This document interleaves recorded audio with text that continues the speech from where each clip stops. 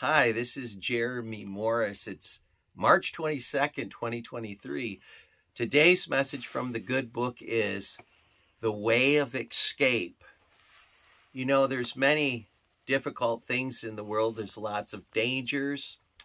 And God says in his word, he'll provide a way to escape these things. I'd like to give you the scripture. It says in Corinthians 10, verse 13, God will not allow you to be tempted above that which you are able to handle, and He will provide a way to escape. That's a really good thing to know because if we can find the way to escape, we can avoid all kinds of difficulties that don't need to happen in our life. There's many things that just aren't meant to happen. And this is why Jesus said in the Lord's Prayer in Matthew 6 13, he, he said, Lead us not into temptation, but deliver us from evil. And so, evil is out there, but you don't have to become a part of that.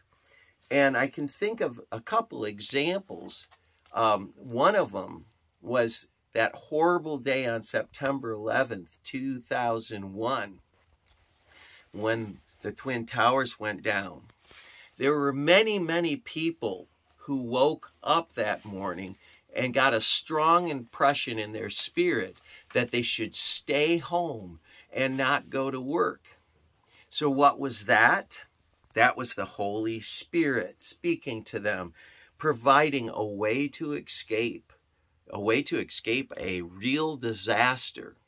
And so, what does this mean then? The key to not entering into these horrible situations is to listen to the Holy Spirit.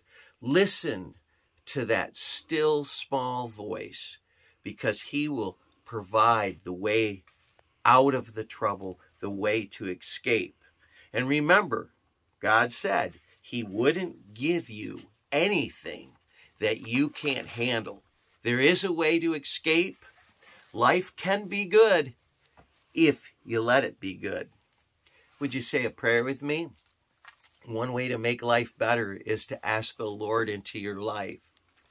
And so here's the prayer Lord Jesus, I invite you to come into my heart. Forgive my sins.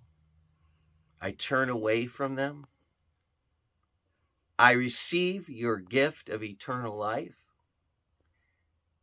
and I receive you as my Lord and Savior. Amen.